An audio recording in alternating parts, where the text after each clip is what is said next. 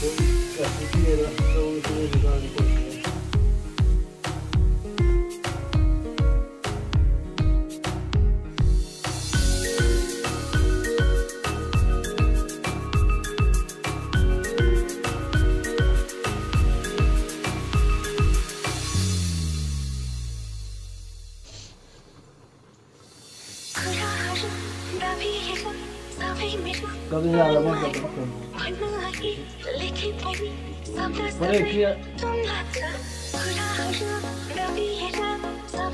Morning guys welcome to my blog और आज है हमारा हिमाचल में सेकंड डे और अभी हम जा रहे हैं नाश्ता करने।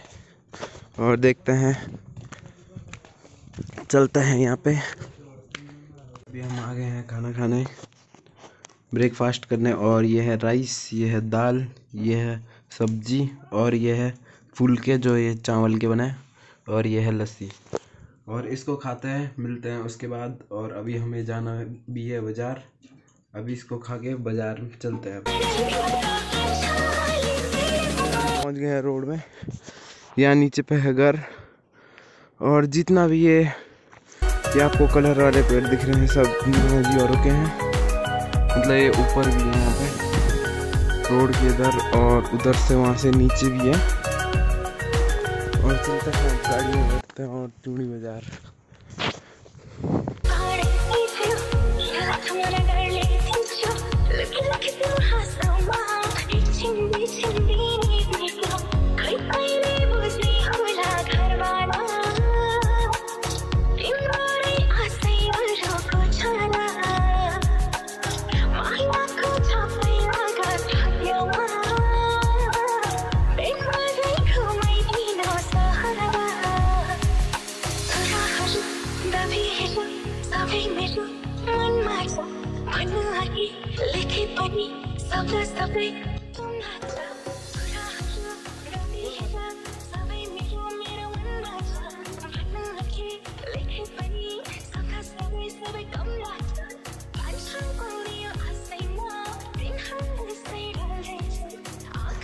Guys welcome to my blog और आज की ब्लॉग की शुरुआत हो रही है हिमाचल से।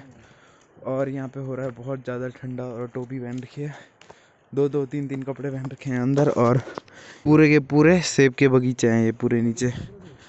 और हम ऐसे ही मस्त अंकल जी के साथ टहलने जा रहे हैं आगे तक।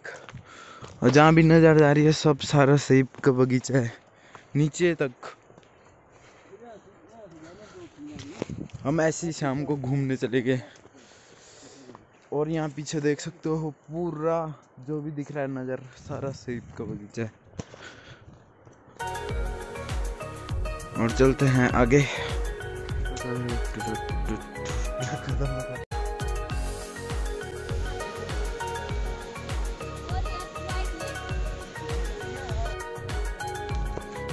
good morning guys welcome to my blog और अभी हम आए थे, जिनके साथ, अंकल जी के साथ मैं हिमाचल आ रखा हूँ। उनकी मौस, सना की मौसी के यहाँ जो छोटी थी, उसकी मौसी का घर है यहाँ पीछे पे। ये जो दिख रहा है आपको। और यहाँ ऊपर पे है नाना जी और बातें कर रहे हैं अभी धूप में। और यहाँ नीचे मतलब पूरी सेब के बगीचे हैं। ये देख सकते हो आप, ये पूरे सेब के बगीचे हैं। और आप बोल रहे होंगे, ये तो खाली पेड़ दिखा रहा है। ये खाली पेड़ नहीं है। इसके मतलब अभी पतझड़ का मौसम है, इसलिए पूरे पत्ते झड़ गए हैं। मतलब मेन सीज़न है जून, जुलाई में। मतलब सेब आ जाते हैं और यहाँ पे पूरा बगीचा है, मैं दिखाता हूँ आपको। अभी हम थोड़ी देर में जाएँगे राजा के महल में। देखते हैं कैसा है राजा का महल। और यहाँ पे देख सकते हो, पूरा सेब के हैं ये पेड़, नीचे तक। और ये तो कम ही है फ़िलहाल, यहाँ ऊपर भी है, कुछ कुछ और मतलब यहाँ पीछे भी हैं, इसके पीछे भी है, ये जो ग्रीन वाला मकान है उसके पीछे भी है, और यहाँ आगे पे भी हैं, और गाड़ी निकाल रखे हैं अंकल जी ने। और ब्लॉग पे यूँ ही कंटिन्यू रही है और मैं आपको मस्त मस्त चीज़ें बताता रहूँगा। आज आज हम काफ़ी ज़्यादा घूमने वाले हैं और यहाँ से हम शिमला भी जाने वाले हैं। शिमला भी थोड़ा ही बच रखा है अभी। आंटी जी खड़ी है यहाँ पे। देख रही है नीचे पे। हाँ हाँ दिख रहे हो। चिंता मत करो। हाँ हाँ पक्का हंड्रेड परसेंट इतना सा? इतना ही सही तो दिखूँगा मैं।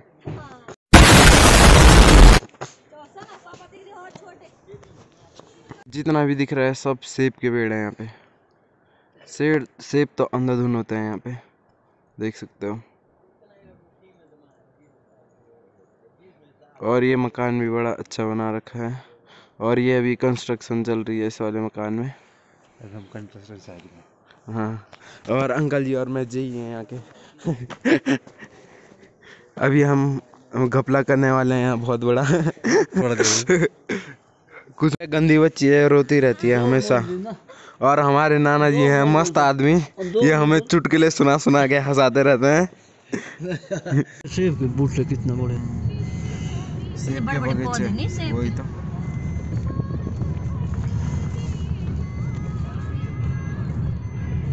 कुछ के पार ठीक जानी हो तो काबलियत के पार है? नहीं नहीं नीचे आ रहा हूँ। स्मूथ ये इनके दांत फाइनली गाइज़ अभी हम हाथेश्वरी मंदिर में आ गए हैं। माता का मंदिर है यहाँ पे। और यहाँ पे माना जाता है यहाँ दो घड़े हैं ना। एक घड़ा गायब हो गया था, दूसरा घड़ा इन्होंने मतलब माता ने संगल से बाँध के रख रखा है वहाँ पे। यहाँ अंदर पे है मंदिर। अभी यहाँ बाहर पे अभी जूते उतारेंगे, फिर चलेंगे अंदर। फाइनली गाइज़ यहाँ पे हो रही है फ़ोटो शूट अंकल जी की। और अभी जाते हैं, अभी अंदर हम।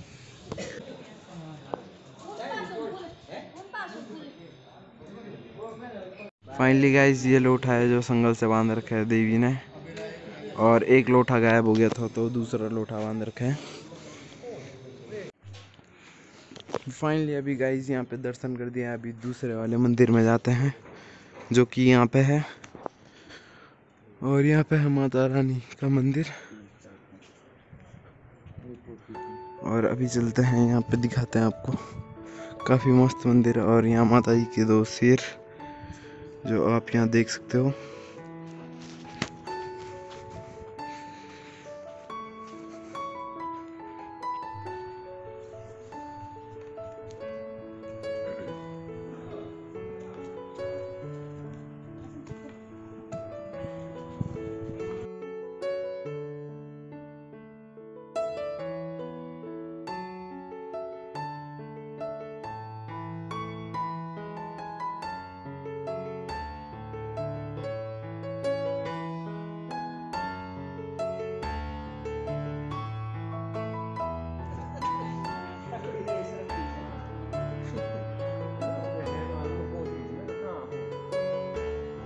फाइनली गाइज़ अभी हम माता जी के दर्शन करके आ गए हैं और अभी हम जाएँगे।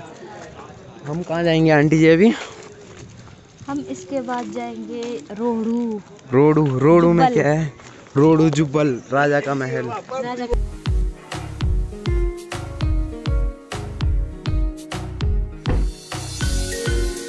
पहुँच गए थे रूम पे मतलब सना के मामा के घर में। और ये चेक करिए गाइस ये है यहाँ पे का डैम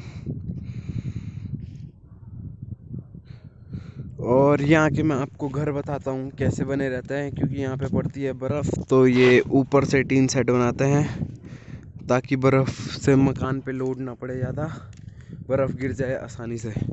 जितने भी मकान देखोगे आप, ऐसे दिखेंगे दूर दूर तक। और ये जो खाली है सारे सेब के पेड़ हैं। मतलब सेब के पेड़ ही यहाँ मेन है। और बाकी भी होंगे मेरे को पता नहीं है और का। और ये है यहाँ पे। देखो ये सारा सेब के पेड़ हैं।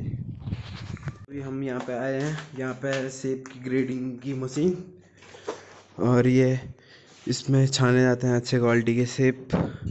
इसमें पता लग जाता है। अंकल जी, पता कैसे लगता है? अच्छे हैं कि नहीं है? इसमें मशीन में सेब चलेगा ना जलेगा। अच्छा। हो गई। इसमें जो ना बाल है। हाँ। हाथ हाँ इसमें बाल है। है ना?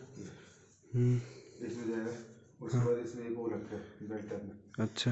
यहाँ से सेब का दाना आएगा। ये यहाँ ये? बेल्ट है ना? हाँ। ये चलेगी। ये चलेगी। ठीक है? यहाँ से दाना वहाँ से दाना पड़ेगा। हाँ। यहाँ से इनमें डिवाइड होगा। अच्छा। इसमें इसमें।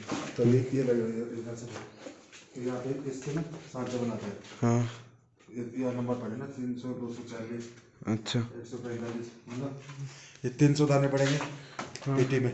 हम्म। तो ये सबसे नीचे का शेप है। ये इससे टॉप क्लास का आएगा। फिर उससे हॉट टॉप आएगा। अच्छा। इधर सबसे टॉप आएगा पच्चीस दानों में पेटी बढ़ जाएगी। अच्छा हाँ। एक्स्ट्रा लार्ज में दस दानों में पेटी बनेगी। हाँ। इस ढंग से। अच्छा ये अंकल जी ने समझा दिया है हमें ग्रेडिंग की मशीन और पैकिंग भी होती है यहाँ पे, साथ ही साथ। यहाँ पे तो फ़िलहाल ऐसी हो रखा है, अभी सामान रख रखा है। हाँ राशन है स्टोर करके, सर्दियों के लिए। क्योंकि यहाँ बर्फ़ पड़ती है तो बर्फ़ पड़ती है तो बार बार लाने से झंझट, एक ही बार ला लेते हैं। और ये लकड़ियाँ भी स्टोर करके रखते हैं यहाँ पे। देख सकते हो आप। सारी।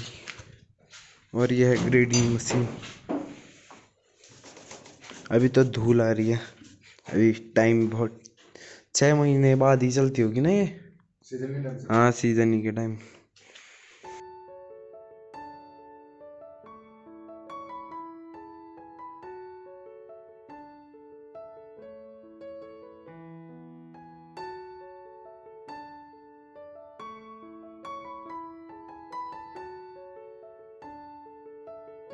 A few moments later. मम्मा इसने खाना खाना पूरा खा लिया। और देखो ना ऐसा बंदर जैसे यहाँ पे।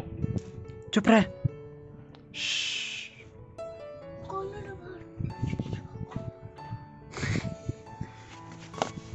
है ये कौन है सना? बुल्ली प्यारी। कौन सी बुल्ली है? हम्म, आ कौन चौहान भैया? इसकी बच्चे। हाँ। आपने खाना खा दिया? हाँ पर इस बच्ची ने तो मुँह सामने किया। क्या खाया आपने? हमने खाया पराठे और सॉस और जेली। जेली? हाँ। जेली के जेम? हाँ। ये ये उसमें मुँह मत करो साहब आपका नाम क्या है? कुछ भी नहीं आपका नाम? तन्नू।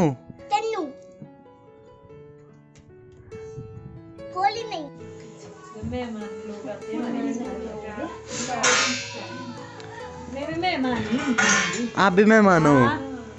अच्छा तब तो आप लोगी हो दूसरी थाली। उसकी सासी की मासी हुई। अच्छा। आपका घर कहाँ है? कोट खाई कोट खाई लस्सी पीते हैं। हाँ हाँ। लस्सी भी पीता है।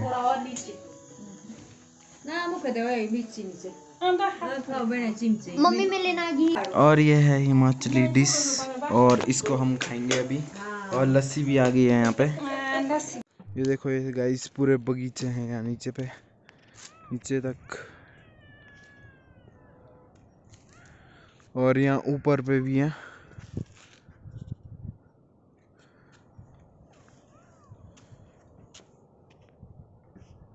और यहाँ पे जा रखे थे हम मंदिर में। ये जो दिख रहा होगा आपको, दिखाता हूँ मैं फुल जूम करके। ये देखो, ये है मंदिर। और ये है हमारा डैम। गाइस ये सब सेब के पेड़ हैं देख सकते हो पास से दिखा रहा हूँ मैं बिल्कुल ये पीछे पे और यहाँ नीचे पे भी है। पूरे आगे तक है ये ऊपर जंगल तक फैल रखे।